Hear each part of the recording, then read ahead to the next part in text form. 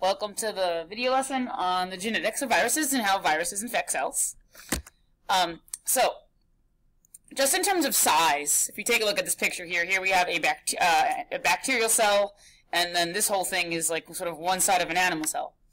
You'll see that viruses are really, really, really small particles, much, much smaller um, than, than prokaryotic cells, which remember don't even have a nucleus, but they're extremely, extremely small.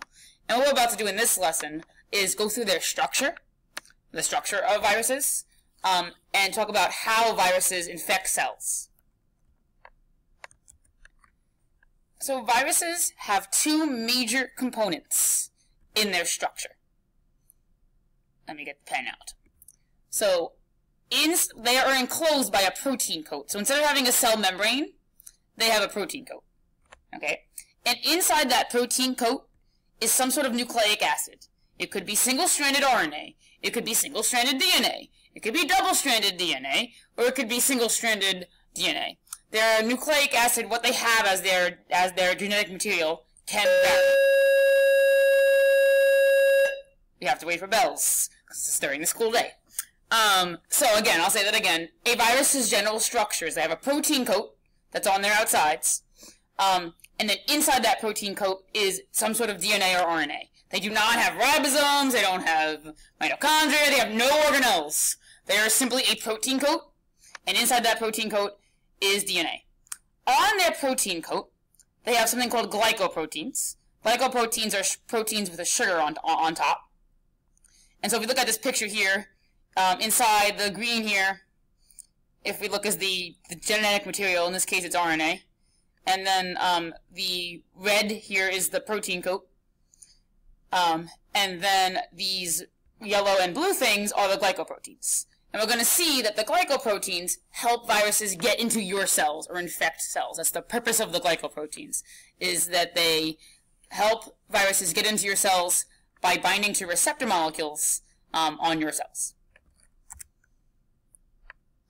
So the genetic material of a virus can consist of four things. Double-stranded DNA, or single-stranded DNA, or double-stranded RNA, or single-stranded RNA. Okay, they can be one of those four types. I think there was a question on the um, the quiz that we took that was like talking about um, the percentages of ATs and Gs and Cs, and it wanted you to identify whether it was double-stranded DNA, single-stranded DNA, double-stranded RNA or single-stranded RNA. And the key to that um, was that it can't be RNA because there was no U in it, and it had to be single-stranded DNA because the A's and T's weren't equal and the D's and C's weren't equal. But we'll deal with that tomorrow. But anyway, viruses can have any of those things in their genetic material. And we also also discussed that uh, viruses have a protein shell, okay, and that protein shell is sometimes called a capsid, that encloses their genetic material, or the genome is really another word for genetic material. And it can have various structures. You can see here, here's a rod-like virus where its protein code is rod-shaped. Um, here's an isohedral virus. It almost looks like, I don't know, some odd shape. And then this is a spherical virus where the protein code is a circle. Um, so the, the structure of viruses can vary by what their genetic material is and what their protein code is made out of. The rest of this lesson is going to be how viruses infect cells. Okay? In general, in this viral infection, there are two steps. So when any virus infects a cell, the first thing it must do is either enter the cell, the entire thing, or insert its DNA into the, this should say, sorry, into the host cell. This should say into the host cell. Right here. I can't spell, wait, I don't, I don't have my smartboard. In the host cell.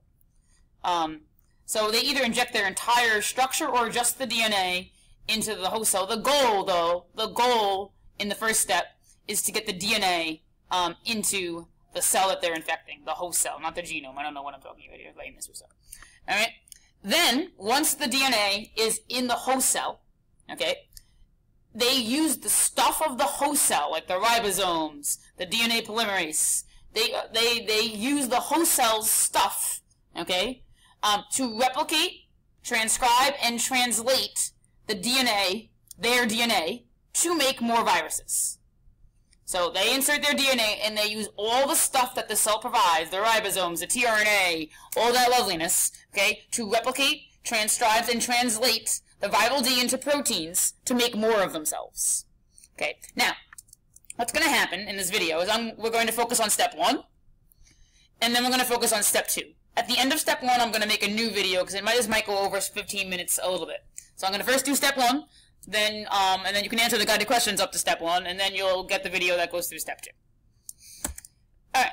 So this shows how a virus gets into the cell. So if we take a look at the first step, this is a retrovirus, and we'll talk about why it's a retrovirus on the last slide. Okay, and you'll see that this is the cell here that's infecting. Okay, and if you take a look here, the retrovirus has glycoproteins that for some magical reason, okay, can match or can bind to a receptor um, in the cell that it's trying to infect. Okay, what that does is that triggers the cell to bring it in through, if you remember, endocytosis. So by binding here, by having a, a glycoprotein that matches the site of this receptor in the cell that's infecting, okay, um, it can force the cell or induce the cell to bring it inside. Okay?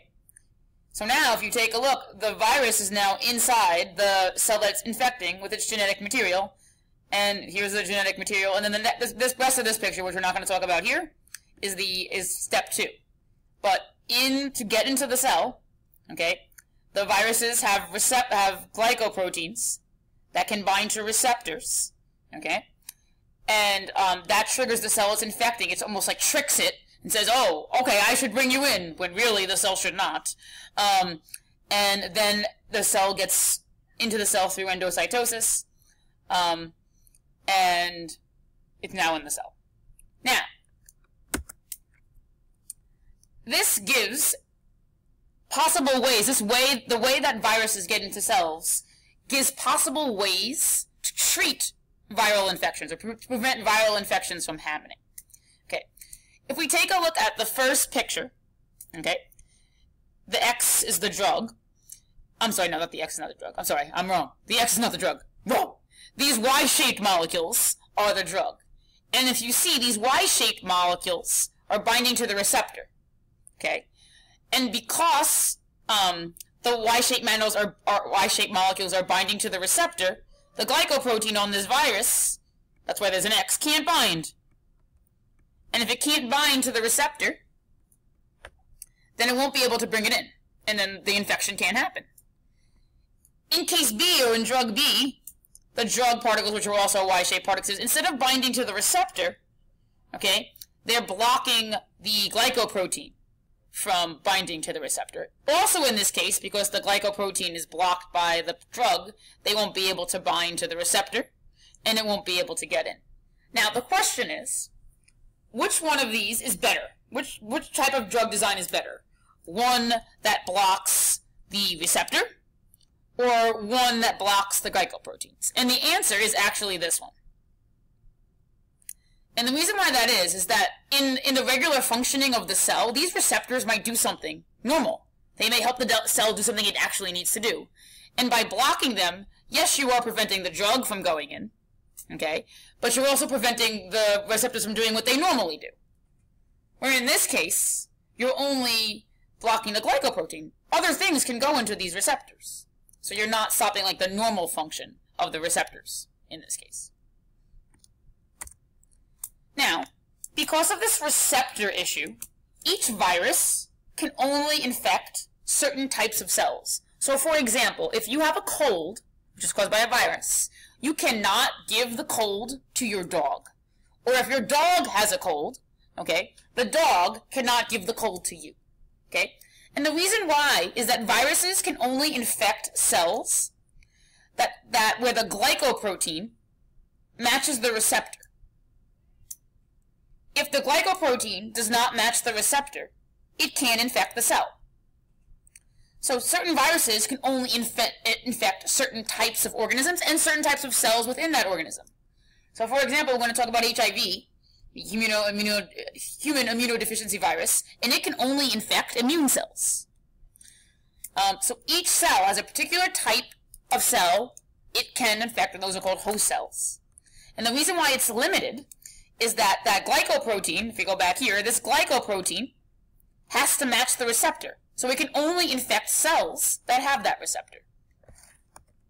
Okay, so I am now going to upload this video, and we are now going to on to, on, on to step two, which is what the virus does once it's inside the whole cell.